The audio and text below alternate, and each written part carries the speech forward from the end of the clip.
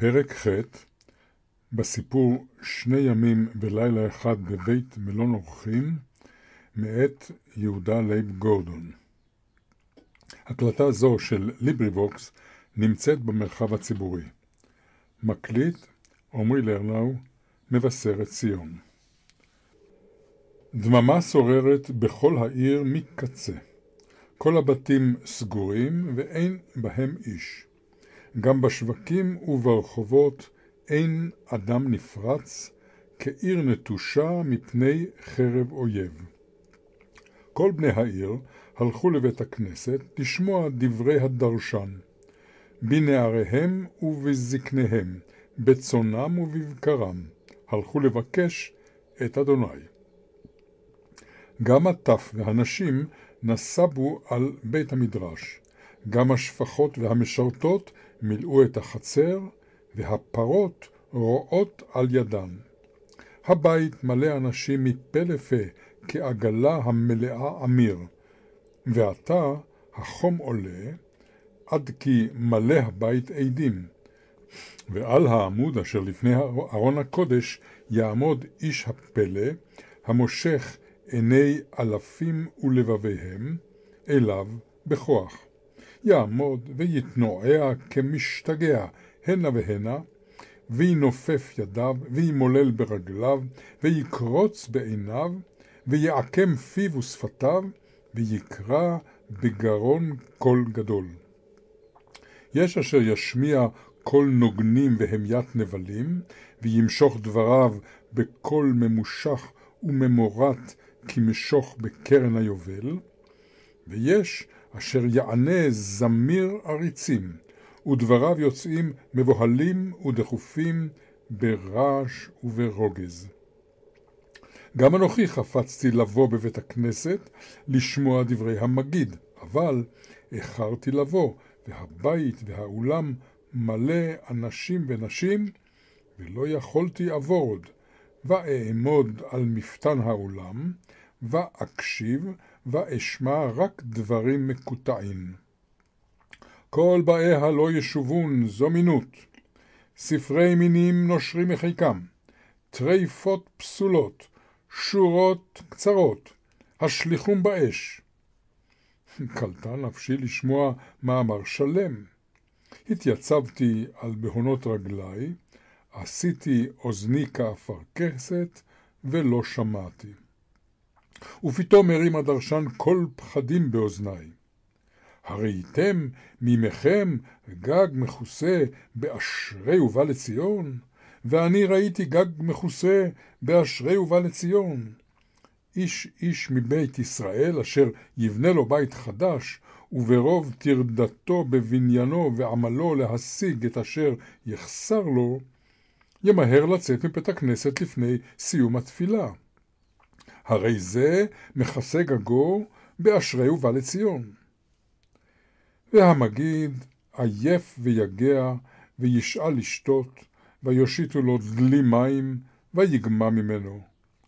אז חייתה רוחו ויחליף כוח, ויוסף לקרוא. נופלים אנחנו ביראת שמיים מבהמות הארץ. הדוכיפת יש לו מסרק, ואינו מסלסל שערו בשבת, והאדם אין לו מסרק, והוא מסלסל שערו בשבת. פה שב כל המולת ההמון, ויגבר על כל הדובר, ויקח אוזני דבר פיו אמרי נועם אלה. לולא היה האיש הזה משוגע, היה מתנבא ומשורר, כי כוח דמיונו חזק, וצר צורות מפליאות לא שיערון כל פייטני עמנו. כי חשבתי בליבי, ואת אוזני עוד הפעם, אולי יצלח בידי לשמוע עוד חזיונות נכוחים כאלה, מרחיבי הרוח ומנשאי הנפש. אבל מכל שעתת הילדים המשחקים, ומרעש המון המהסים איש את אחיו, לא נשמע דבר וחצי דבר.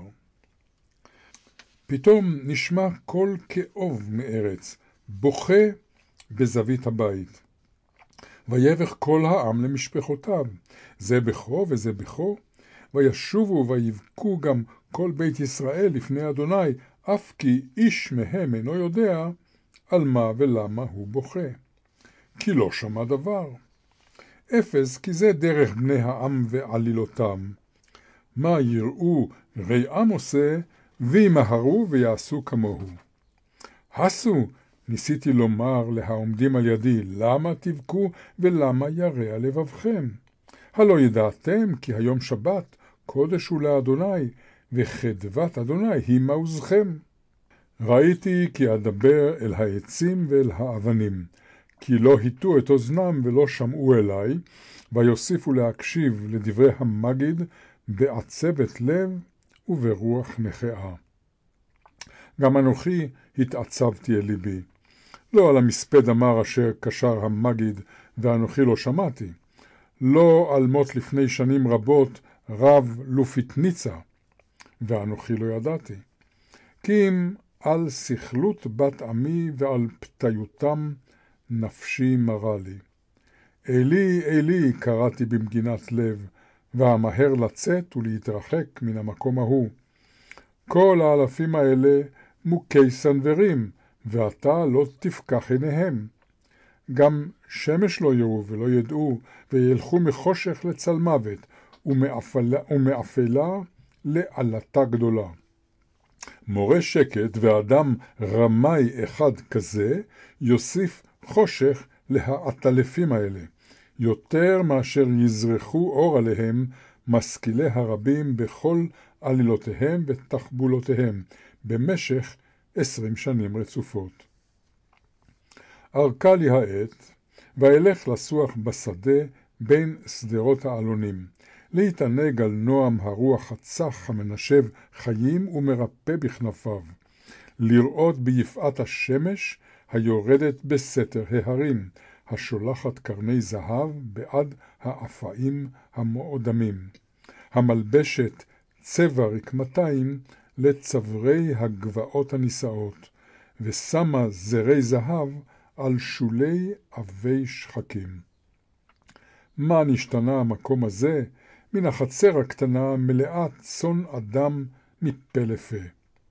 ומה נמרצה לי דממת הרגע המגיד כבוד אל בלי עומר ודברים משיחת תפילה של המגיד המחלל שם שמיים בקרב קדושיו. ולי מה יקרו הרגעים האלה? מה עצמת תאוות נפשי לראות בני ביתי? והנה, היום נוטה לערוב, עוד מעט ופתחו האזיקים אשר שמה עלי השבת, ומיהרתי לחבק אשתי ובנותיי ולהאמיצן אל ליבי.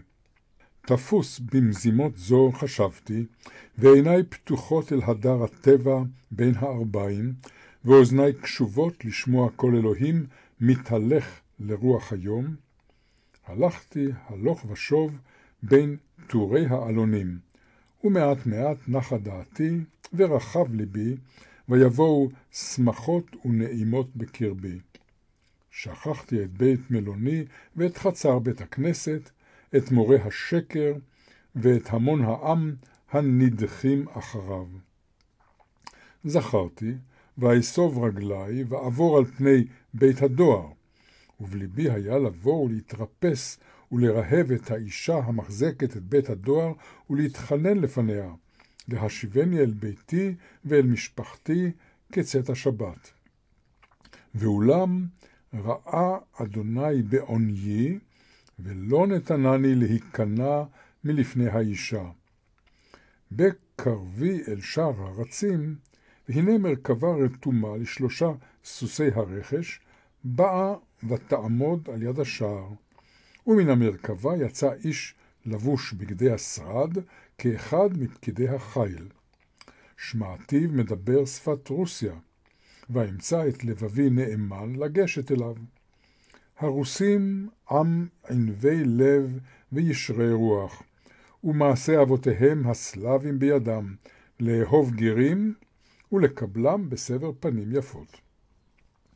אדוני, אמרתי אליו בשפה רפה, סלח נא לי בטובך, כי ארהיב בנפשי עוז לשאולך, איזה הדרך תעבור מפה הלאה. הרוסי פנה אליי בפנים שוחקות ויענני רכות. לוורשה אנוכי הולך, אדוני. כי עתה יש לי שאלה אחת קטנה לאדוני, וגדולה היא אליי. ויען, דבר, כי שומע אנוכי. זה שני ימים אנוכי יושב במקום הזה, ולא אוכל לצאת, כי בעסקי ביתי אני הולך, ואין לי סוסים לעבור. אולי ייטב בעיני אדוני, לקחתי לנסוע עמך עד העיר הקרובה, כי אדוני בגפו הולך, ולי, אני עבדך, אין קול בלתי עם צרור אחד קטן. טוב מאוד, אדוני, ענני שר הגדוד נדיב הלב. שמוח אשמח על חברתך, כי בגפי אני הולך. איפה מקום תחנותך? בבית המלון שם נמצאו מטלטלי המעטים, ואם תרשני, אצווה ויביאום הנה. ומה שמך? הוסיף שר הגדוד לשאולני. הגלתי לו שמי ושם משפחתי. עברי אתה, אמר אלי, לא תוכל אפוא עוד אתה ללכת בדרך, כי עוד לא עבר השבת. הבה אחכה לך עד הלילה. הודיתי להשר חסדו, ואמהר לשוב העירה. בין כה וכה באה השמש, ויום השבת חלף. בגישתי לרחוב היהודים פגשתי בהרבה אנשים חשים, עצים, רצים, איש את אחיו ידחקו, וקוראים זה את זה ומדברים זה עם זה. ואנוכי ראיתי, ולא יכולתי הבין, אף לא חפצתי לעמוד ולשאול את פיהם, כי מיהרתי לשוב לחדר מלוני, לערוך את בגדיי ומיטלטליי. נטיתי מן האורח, ואוחז דרכי דרך משעול צר, למען לא יעכבני אדם בלכתי. אבל גם שם פגשתי אנשים אחדים, נחפזים וממהרים לרוץ. ביניהם הכרתי גם שניים מן הנערים הלומדים, אשר ראיתי אמש בחדר המגיד. הכל גלוי וידוע. שמעתי אחד מהם מיליל בכאב לב ובשבר רוח. נמהר, נחישה, ענה השני. הדברים האלה העירו בי חשד, ויסיתוני בספק, אבל בטרם הפניתי שכמי להביט בהם, חלפו כצללים, עברו ואינם. באתי ברחוב העיר, ואנשים רבים שטפו עברו כגלי ים, לימיני ולשמאלי, וכולם מתלחשים ומדברים בשפה בלולה אין בינה. קרבתי לבוא לחדרי, והנה בעל מלוני לקראתי. מה תאמר אתה, אדוני, לדבר הזה? לאיזה דבר? שאלתי בתום לבבי. האם לא שמעת את הדבר אשר נפל בנו? איה איפה היית כל הערב? יצאתי את העיר לסוח בשדה לפנות ערב. כי עתה שמע והשתומם ואמר, ככלות המגיד את דרשתו ונעמוד להתפלל ערבית, נשמע פתאום קול ענות באחת מירכתי בית הכנסת, קול קורא, הבו מים קרים, השיבו נפשו, השיבו נפשו, כי מתעלף הוא. מיהרנו לבוא לעזרת המתעלף, והנה הוא הנער מאחה, אשר אכל ביום השבת הזה לחם על שולחני. אשר לן בלילה ההוא בחדר המגיד? אשר לן בלילה ההוא בחדר המגיד. קצרה נפשו מדוחק ההמון, ויתעלף. מיהרנו ונביאהו אל אחד התאים, ונזה מים חיים על פניו, ונגרר רקותיו בחומץ, ונאמץ זרועותיו בכישורים, ונפתח את מעילו, והנה, אהה, שומו שמיים. הנהיה כדבר הזה בישראל, או הנשמע כמוהו? ומה היה הדבר? ספר נא לי. מה היה הדבר? הנער הזה אשר ישב זה כשלושה חודשים בבית מדרשנו ללמוד, ויאכל על שולחננו, הנער הזה איננו נער, כי אם נערה מתחפשת בבגדי גבר. נערה? קראתי אחריו בתימהון לבב. נערה בתולה בכל דקדוקיה ופרטיה. איה המגיד, איה המגיד, נשמע קול קורא במסדרון הבית. ומה לך ולהמגיד? שאל בעל המלון את השואל, ויפתח את דלת חדרי, ויעזבהו פתוח? כובע חדש לקח ממני, ועוד לא שילם לי. אני איש עושה כובעים, הוא אשר מכר את כובעו להמגיד במיקח אשר עלה על נפשו.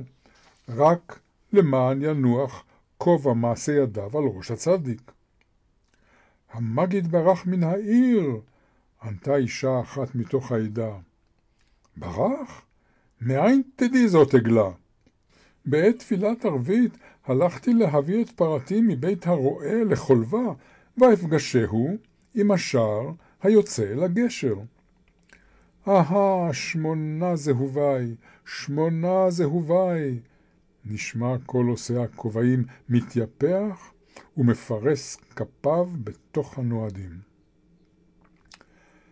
סגרתי הדלת בעדי, ואמהר לסדר את מיטלטלי באמתחתי, הבאתים לבית הדואר, ואמצא את המרכבה רתומה, ושר הגדוד מחכה אל בואי. ישבתי לשמאלו, ואשא כל הלילה ההוא, וכל הבוקר למחרתו.